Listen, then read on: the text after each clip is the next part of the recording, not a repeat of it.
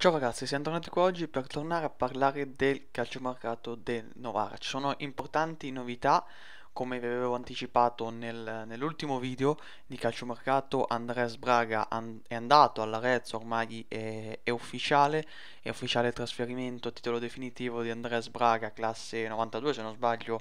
al- all'Arezzo, squadra ultima nel girone B che però c'è da dire gli ha offerto il il doppio dell'ingaggio che percepisce qui a Novara, quindi era anche abbastanza difficile dire, dire di no. Si perde una pedina importante, vota, eh, eletto eh, come miglior calciatore 2019-20 del Novara e tra l'altro nei, negli scorsi giorni gli è stato proprio consegnato questo premio da parte de, de, del club fedelissimo e,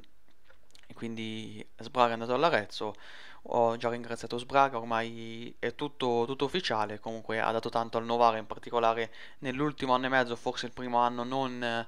eccelso, però Sbraga ha dato tanto, soprattutto nella stagione 2019-2020 dove è stato veramente un, un leader sia in campo che, che fuori. Quindi eh, si perde Andreas Braga come, si perde Andreas Braga come già detto non ci sarà bisogno di sostituirlo perché ripeto lì abbiamo quattro difensori centrali Bellic, Pogliano, Bove, Migliorini quindi comunque non c'è bisogno di andare a cercare, secondo me, e come detto anche da, dallo stesso Novara, un, un, quinto difensore centrale. I problemi solo, sono in altre posizioni del campo. Però c'è un colpo addirittura d'arrivo, non c'è ancora nulla di ufficiale, attenzione, nulla di ufficiale, però c'è un'indiscrezione importante, un colpo in arrivo, si parla di Va, adesso non so se è la pronuncia giusta, Lorenzo Valeao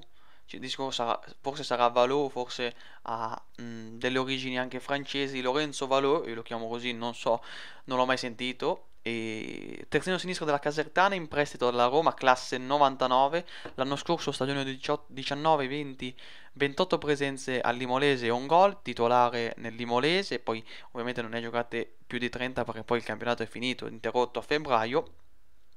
e il suo arrivo andrebbe a completare la corsia a sinistra insieme a, a Cagnano. Sarebbe il sostituto ideale di Cagnano perché abbiamo visto quando Cagnano è venuto a mancare non c'era stato non c'era un sostituto, una volta ha giocato Boveli, quindi non avevamo il vero sostituto di Cagnano che è venuto a mancare una, una volta per Covid e l'altra volta per squalifica. Quindi eh, dovrebbe arrivare con la formula del prestito perché ovviamente se una cosa è certa è che noi in questo momento non, non possiamo spendere tanto dati già i grossi problemi, scusatemi, eh, dati già i grossi problemi che avevamo, che avevamo qui. E, e quindi Lorenzo Valeo, terzino sinistro, ha giocato a Caserta 8 presenze quest'anno e viene dalle, dalla Roma, dalla primavera della Roma con cui ha giocato tra il 2017 e il 2019 e quindi, e quindi vedremo. Poi sistemata la corsia a sinistra dovremo pensare alla corsia a destra dove Colombini e Natalucci sono in uscite con la manna che per ora non è adatto alla categoria. Poi, per quanto riguarda l'attacco, allora vi ho già detto tante cose, stiamo parlando molto dell'attacco perché in questo momento è il reparto più importante.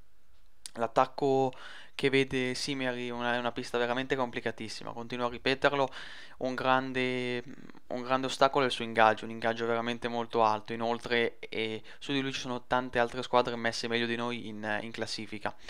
E per quanto riguarda Stanco, ufficiale ha chiuso con l'Alessandria, Stanco 3, classe 1987 in, che era in forza giocava all'Albino Leffe o forse al Vicenza in questo momento non mi ricordo bene. Zamparo della Reggio Audace mi sembra una pista difficile perché anche ultimamente sta giocando anche in Serie B quindi difficile che scenda di categoria per andare in una squadra che in questo momento è in zona playout quindi è, è sempre difficile e quindi le due opzioni principali sono Sorrentino, Lorenzo Sorrentino che sta trovando poco spazio Renate ed è in cerca certamente di spazio per giocare, per far vedere delle buone qualità che ha fatto vedere a Lucca con Bortolussi la coppia che salvò la Lucchese poi retrocessa per fallimento. E l'altra idea è il ritorno di Lorenzo Pinzauti o Pinzauti, chiamatelo come volete, chiesto eh, proprio dallo stesso banchiere che vorrebbe avere l'attaccante che aveva avuto l'anno scorso che comunque e quando era stato chiamato in causa aveva deluso nel campionato. Non ha giocato tanto, oscurato da un Bortolussi che ha fatto 10 gol in 30 presenze e sempre delle ottime prestazioni. Nei playoff, quando è stato chiamato in causa per l'infortunio di Bortolussi, oltre al gol contro il Carpi, importante per sbloccare il risultato, ha fornito sempre delle buone prestazioni, tanto carattere, tanta grinta che serve, che manca a Zigoni e a Lanini. In un sondaggio su Instagram il 76% ha votato Pinzauti e il restante ha votato Lorenzo Sorrentino, quindi questi sono i due nomi in attacco. Si registra anche come ultima, ultima notizia un interessamento del Pescara per quanto riguarda Marco Firenze.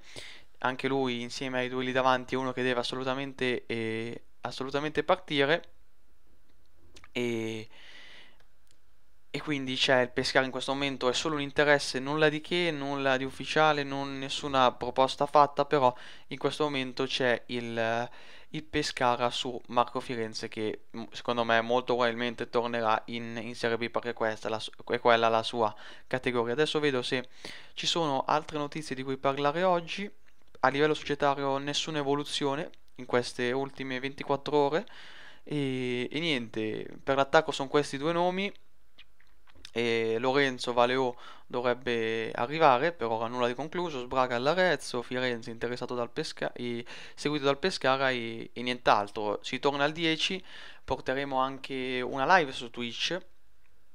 eh, per Novara Olbia e, e, quindi niente, vi aspetto là su Twitch, forse porteremo un altro video prima, magari un pre-partita, comunque vi tengo aggiornati, vi porterò anche un video velocissimo anche per spiegare la live, come sempre tutto, darvi tutte le indicazioni possibili.